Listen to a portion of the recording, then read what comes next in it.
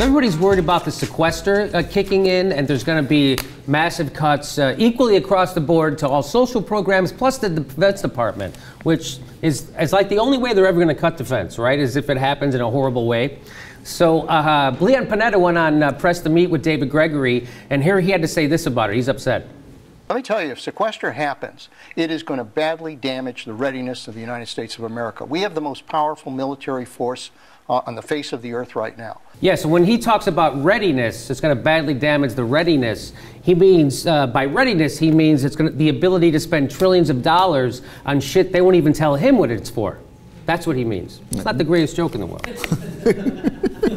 yeah, it's not, it's, it was solid. It was solid. It seemed, it seemed we were headed for a more serious point. I think he caught us all off guard. that was the problem. Well, he's like, okay, so he, uh, but let's remember, so he's all upset that they might cut defense spending. How much? Because it, every dollar, by the way, he can't do without any, can't lose any dollar. So he, I'm going to remind you, we played this on this show before, Ben. Here's Leon Panetta talking to Scott Pelley from 60 Minutes, and Scott Pelley asked him, "How many wars we're in currently?" In how many countries are we currently engaged in a shooting war? It's a good question. you know, it's you uh, have to stop and count. I'll have to stop and think about that because because you know I've been desensitized to the horrors of war. I giggle about it. so here's a guy who can't even tell you how many. Here's the head of the Pentagon, can't even tell us how many countries were involved in a shooting war, but he knows for goddamn sure we can't cut any money for the stuff that he doesn't even know where it's going. Okay? So he goes out, he's very upset about it. Uh, it is important in terms of providing stability and peace in the world. If sequester goes into effect and we have to do the kind of cuts that will go right at readiness, right at maintenance, right at training, we are going to weaken the United States and make it much more difficult for us to respond to the crises in the world. Yes, we need to be able to fight in two wars at the same time with zero chance of winning. We need all the money. Do you have, have you seen how these soldiers eat? By the way, it's not two wars at one time. It's I don't know three, four. Who knows? I can't, I can't even keep. It's so hard to forget. it's so funny. Wars are funny. oh, it's hard to keep it in. Yes. Okay. So um, he goes out. He's even. He's more upset. He's got more to say. It, let me just give you. Can I give you a piece of?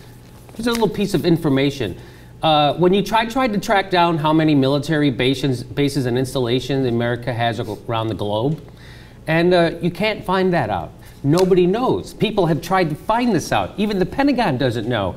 Uh, yeah, because the answer is not like 13. It's not 13. Right, yeah. It's somewhere between 900 or 1,000 or 1,100.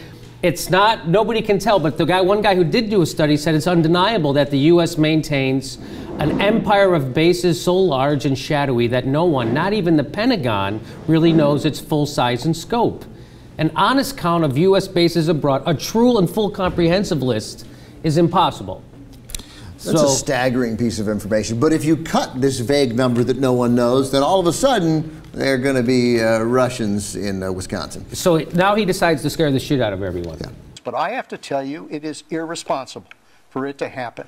I mean, why, why in God's name would members of Congress elected by the American people take a step that would badly damage our national defense, but more importantly, undermine the support for our men and women in uniform. Why would you do that? General Dempsey, explain. Uh, maybe because you can't name how many wars we're currently fighting in around the world. Maybe because you can't tell us. Maybe because we don't need to spend that amount of money. Maybe that would be why. I, and and and and the, by the way, at the end of it, there, I mean, that was that might as well have been Leon Panetta, George Bush's yes. Secretary of Defense. Like all of a sudden, they go right to the, and why would they do it to the troops? The, right, undermine the troops. You're not, you're putting the troops in harm's way. It was all he could do not to say, which was Bush's reelection campaign. Look, you can elect John Kerry. That's fine, but there's some chance your children will die. But if, that's, yes. but if you're yes. if you're comfortable with that, then you go ahead and vote for him. And I like he's like, and I can't be any more specific about how these spending cuts will affect our readiness because uh, you know I'm full of shit. That's why. yeah. I don't know if you noticed. Full of shit. I don't know. I'm not really lying. I don't know. Yeah, he doesn't I even. Don't, I don't know. I well, don't know. You know, it's like you want to cut money from the Pentagon. What do you want our men and women to be fighting with sticks and stones? That's right. Yeah, we're going to go back to muskets. Uh, he feels so strongly about this, Ben. He actually, I don't know if you noticed, he even stopped giggling.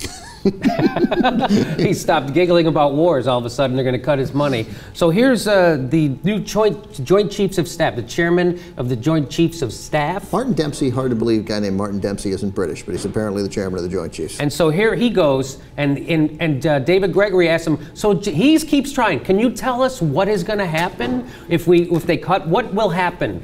F- Tell this so like something I can grab onto. Tell me one thing that will happen. one bad thing that will happen. right. Tell me one bad thing. But explain specifically. Sequester, are we less safe? We will become less safe. How? I'll tell you how. We first of all, it's not just sequester. That's the piece of that's that's been missing in the discussion. We're also operating under a continuing resolution. The accumulative, the, the combined effects of sequester and and uh, and the continuing resolution creates a, a magnitude of cut in the last half of the year. We have to absorb 52 billion dollars when you count the effects of both sequestration and uh, and uh, continuing resolution in the last half of the year, when some of that money is already committed, and the only place you can go and get it under that circumstance is readiness. It's operations, it's maintenance, and it's training. Yes, yes. First of all, I was sleeping through half. This is so important that, well, first of all, there's an operational readiness on our property. He can't tell you what. Are you going to tell I'm me? going to give, I'm gonna give you some specifics, and then I'm going to talk for the next 35 seconds about the continuing resolution. the continuing resolution and all the money at the end of the year is for ready. Yeah, see, because that 52 billion that they're going to have to absorb in cuts comes at the end of the year, and that's going to affect their uh, readiness, operations, maintenance, and of course the big Christmas party. That's a Christmas party at all 97 of those bases, or 107, or 100. Yes. I'm sorry, 1100, Yes. or 940. It's a mm-hmm. lot of Christmas parties. A lot of Christmas parties at the Yeah. bases we can't count. And you know, it go, cuts into readiness, Ben, and they have women fighting now. And you know how long it takes them to get ready.